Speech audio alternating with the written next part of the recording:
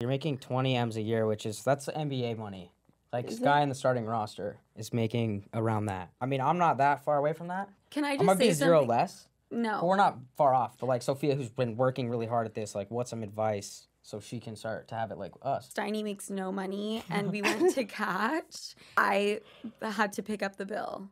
So Really? I just want to throw that out there. It's one of those things where someone offers. And then you fight it one time, like, no, I got it. But then they're Oh, like, yeah. I insist. He and it's like, all fight right, it. if you insist. He I didn't. get. He didn't fight it.